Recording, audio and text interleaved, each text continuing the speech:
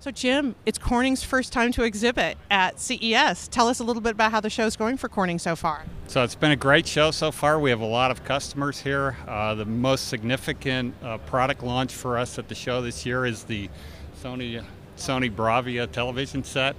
Uh, they're going to use Gorilla Glass on their Bravia line up to 55 inches. They're using 0.7 Gorilla Glass, uh, and it takes about six pounds of weight out of the television set versus the 3.2 soda lime they used previously.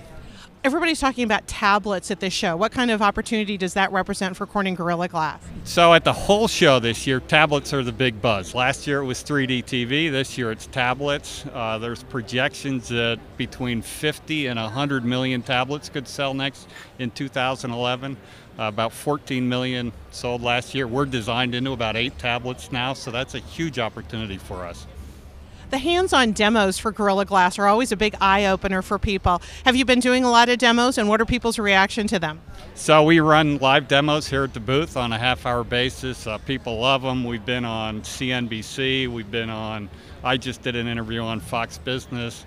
Uh, cool Tools did an interview with, with uh, one of our guys. So, the, the, the hands on demos have just been extremely valuable to us, even directly with customers. It's been a big deal for us.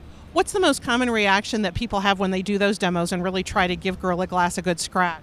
So they're always surprised first when we let them break soda lime how easily it breaks, and then they try to break Gorilla and get frustrated because it's very difficult to break.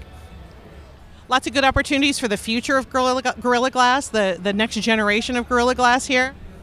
That's right. We're uh, working on a number of product enhancements to make it even better, and we're looking for new areas to use Gorilla, like potentially on appliances or to lightweight a sunroof in an automobile.